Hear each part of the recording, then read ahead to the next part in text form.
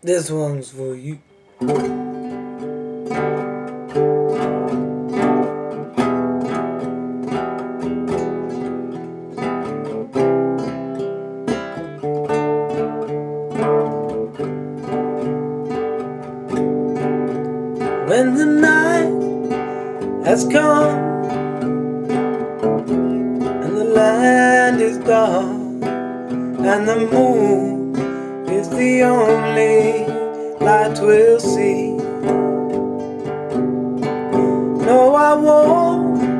Be afraid. No, I won't be afraid. Just as long as you stand, stand by me. Darling, darling, stand by me. Oh, oh stand by me. Oh, stand now. And stand by me. And stand by me.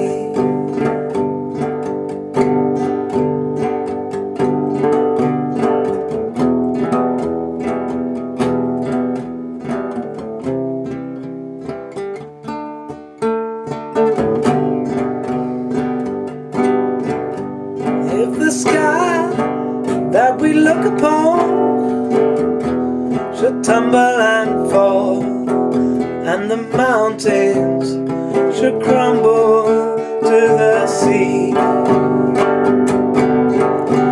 No, I won't, I won't cry, no, I won't shed a tear, just as long as you stand stand by me.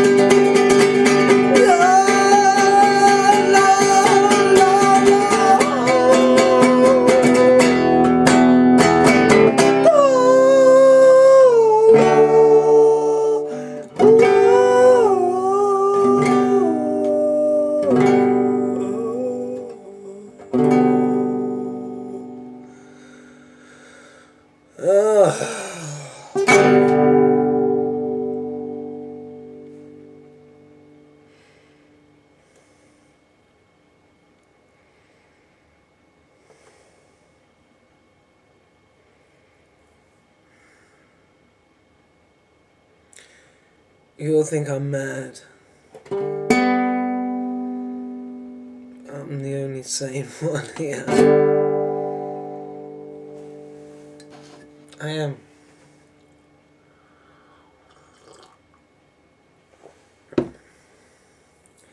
It's amazing how many people are scared of psychiatrists.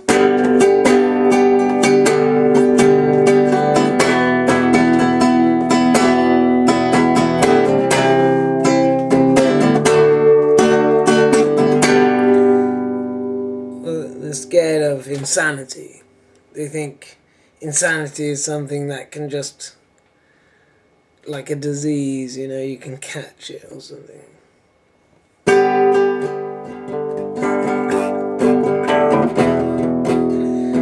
It's ridiculous to be scared of something like that.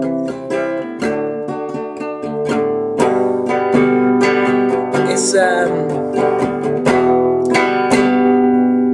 like a you know it's what I say when your your belief system is is important.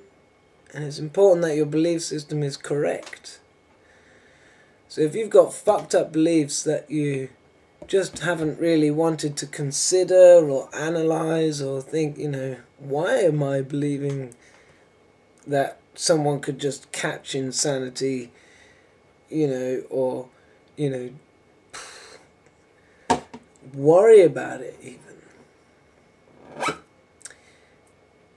Ever since St. Francis got to this high state of being, got with God, and the people in charge noticed, you know, how loving he was and how that other people wanted you know, it was infectious because he was so loving, going that love state. Other people wanted to follow him, wanted to get to where he was too. You know, it's like you see someone really happy, you think, what the fuck are they on? I want some of that, right? That's what happened then. And they saw this and we thought, right, we don't, you know, if all it takes for someone to get with God is to have a few hardships, think about it for a while, get through it, and then they're in this euphoric place. You know, oh, we can't have this because this is going to undermine our control with the Catholic Church. Because this went all the way to the Pope, and you can see it in a film. Uh, brother, sister, brother, Sun, sister, moon is the name of the film. And there's two films depicting St. Francis's life, and the other one's shit. And this one is awesome. Brother, Sun, Sister Moon. And, you know, they cottoned on to this, and at the end of the film, even hints towards that because they're all like, because the Pope sort of honoured St. Francis, and people around like saying, What the fuck are you doing honouring this Graggy bloke, whatever, but who talked about God and who, you know, had a go at the people wearing fancy clothes and all that sort of stuff. But the Pope sort of kissed his feet. at the time, they're like confused, like, why is the Pope being friendly to this guy? And then, and then at the end, it says, the Pope's not stupid he knows this will bring the poor people back to the church if they're like along with St. Francis. So it was a pretense. But they didn't want any future St. Francis, right? They didn't want this to happen again. They wanted it to be a one off. So they established this mental asylum. Because when someone's feeling God, it's so strong, they want to just take all their clothes off and just walk barefoot on the ground. You know, that happens. If that happens, you know, woohoo, off to the insanity suite, um, drugged up, made to feel mental. This has sort of created a sort of a stigma in society that you can go mental and that oh if I do something out of the ordinary I am going mental it's all a, a bullshit and it was a, a fear I had at the age of 19 which I think prevented me from accepting what I was feeling at that time. And this time around, when I was getting, if you like, near to that feeling, I just sort of, because I, I'd heard saying that fear is born of an untruth. Not all fears, but fear, a fear can be born of an untruth you know, an untruth in your soul. And this truth was all about this perception of insanity. Now, next week I start a job supporting people who are supposedly have brain injuries.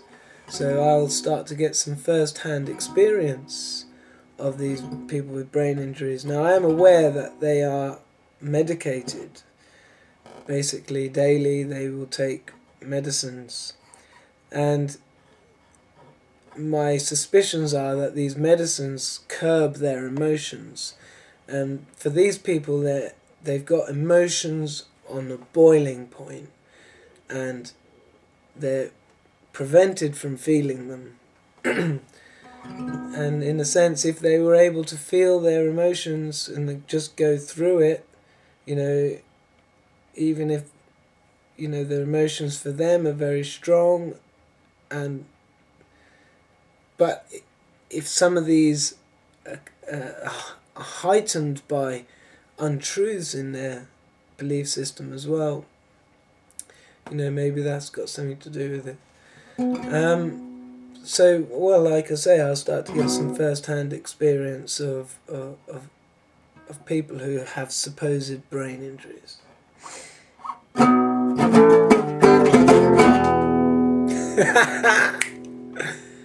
no, I'm serious.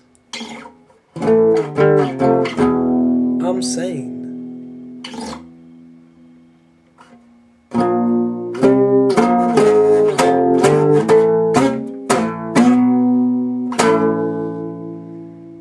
You know, at the point where someone's behavior becomes unsafe to others around them,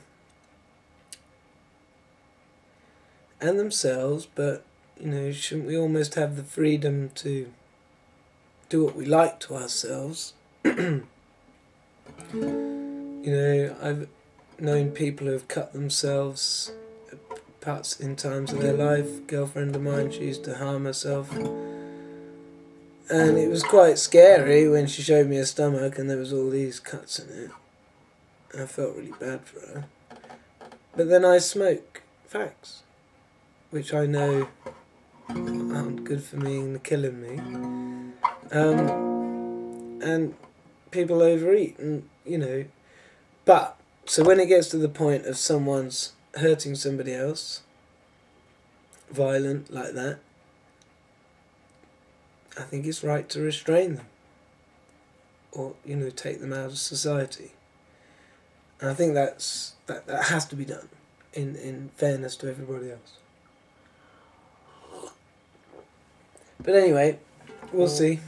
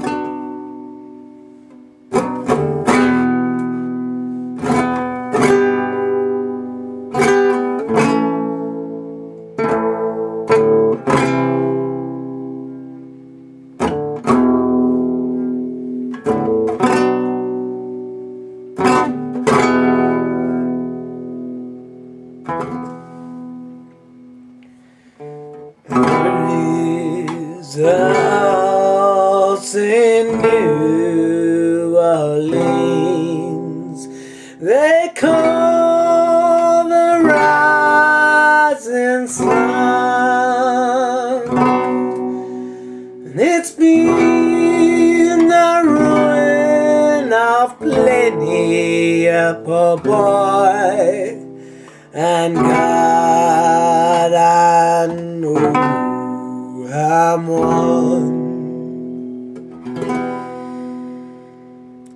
My mother was a tailor. She sewed.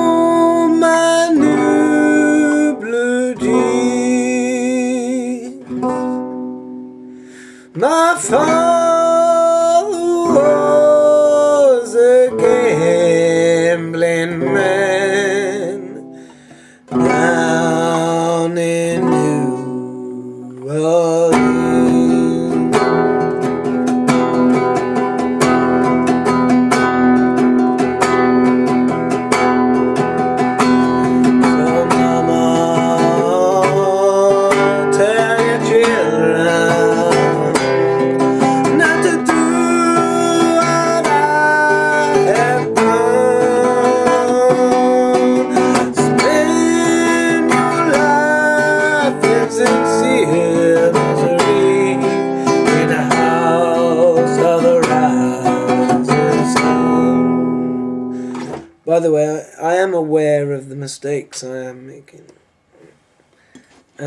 drunk alcohol tonight.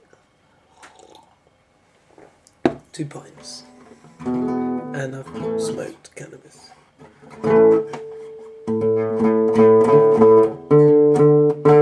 I only had three days off. Not not very good. But it was the weekend and it was Friday night and I didn't realise that I wasn't having my son this weekend. He's on a rugby tournament with his mother, mother and co.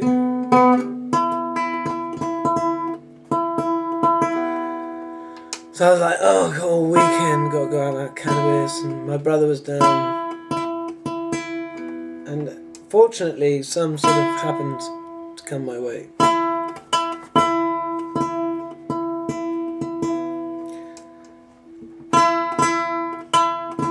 I've noticed I think about God more when I'm not on the cannabis.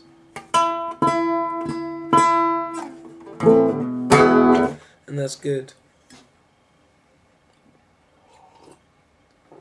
The power of thought. What do you think about most of the time?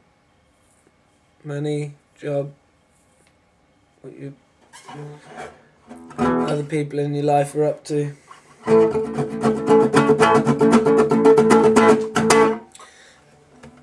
I don't know what this video is about. It's just not about anything. So nobody watch it.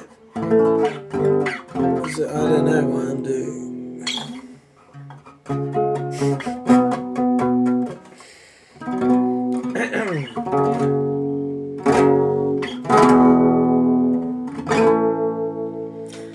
um,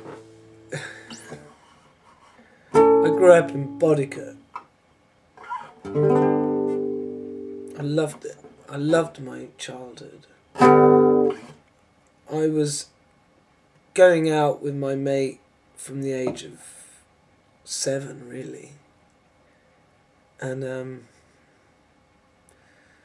going out around Bodicote. Awesome. We climb walls, like really high ones, climb trees, hide in bushes.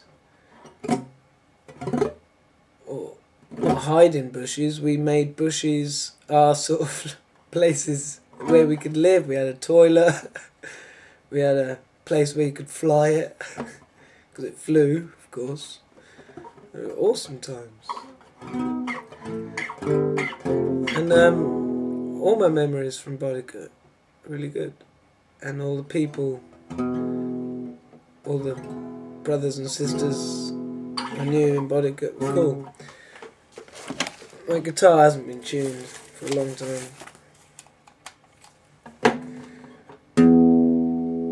I'm glad I decided at the age of 17 to learn guitar.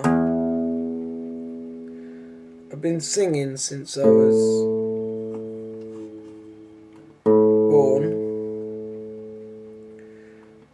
I used to, I think I used to first sing, like, try and sing. I wasn't very good.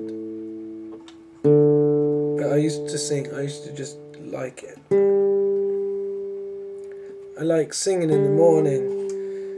You know, sometimes I notice when I think, shit, I haven't like just sung on the toilet for a couple of weeks or something. And in fact, I haven't picked up the guitar really more than a couple of weeks.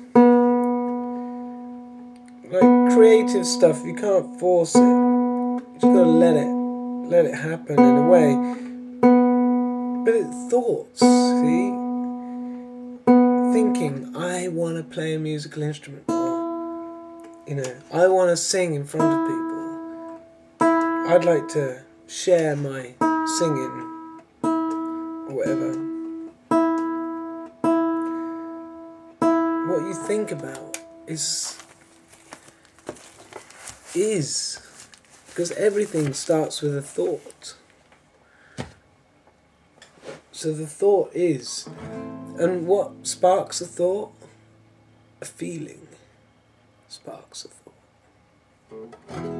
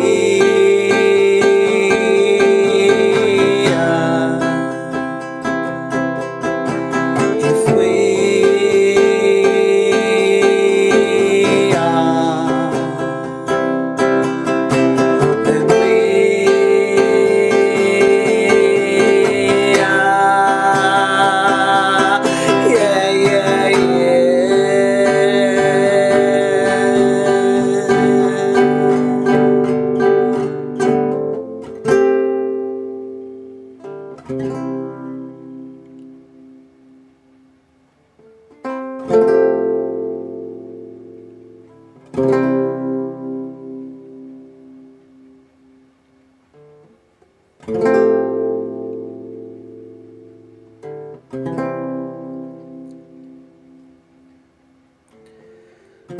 used to philosophize and I used to worry myself out of existence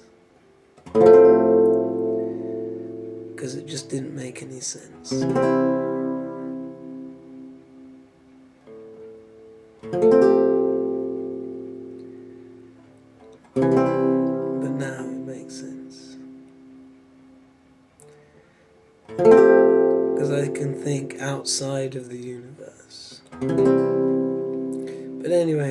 Came up with this song. We are.